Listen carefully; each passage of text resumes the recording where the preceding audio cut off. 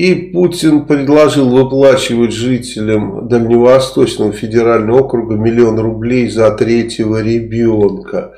Ну, то есть, э, интересно, да, то есть сейчас начнется такая ну, может быть, этого и не будет, но вообще могла бы начаться такая ерунда, когда, а, родив двоих и беременна третьим, да, поехать на Дальний Восток, прописаться, чтобы получить миллион. Но с Дальнего Востока все бегут, и я думаю, никаким миллионом их не остановишь. Это э, сейчас повальное такое явление, как побег с Дальнего Востока.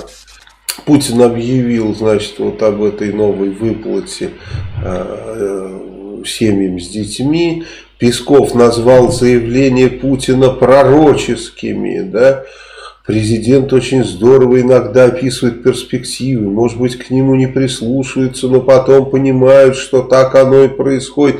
Это вот связано с этим газом, который, конечно, не из-за какого, не из-за Путина такие скачки совершил. Сейчас совершенно очевидно, что огромное количество газа купил Китай да, были еще покупатели очень серьезные в виде Саудовской Аравии и так далее. Поэтому э, к Путину это никак не относится. А все его пророчества мы знаем. Да? То есть, какие были у Путина пророчества, кто помнит? Помните, он заявил, что если нефть упадет ниже 80 долларов за баррель, то экономика мира рухнет. Ничего подобного не случилось.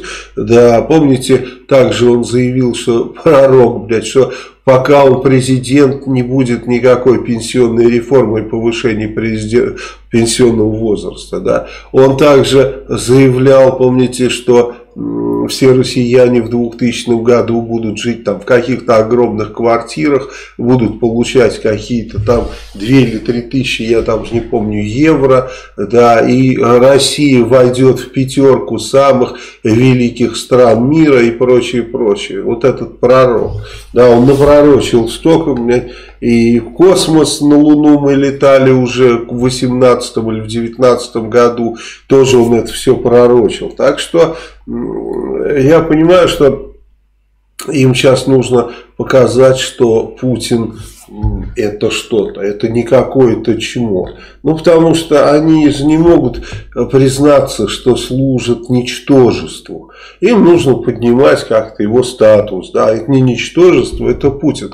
Но обратите внимание, всегда, э, во все года мы издевались над Путиным из-за того, что он не видит дальше своего носа что он близорук, что он абсолютно не может ничего просчитывать. Более того, он не может взять советников, которые умеют просчитывать.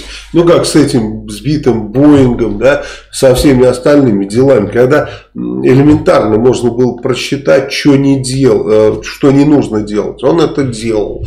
Да, они пытаются поставить с ног на голову э, вот эту конструкцию. Путин ни разу точно ничего не предсказал. Ни единого раза. Да? Помните, тезис у меня главный был, почему Путин не может управлять? Потому что он он не может предсказывать, он не может видеть будущего. Это как водитель на дороге, который там э, с закрытыми глазами. Да? Что он может увидеть? Он не видит дорогу, во-первых. И во-вторых, он не видит Э, не, мог, не может прогнозировать, как будут действовать участники движения. Это самая главная его ошибка, что он не может прогнозировать действия других.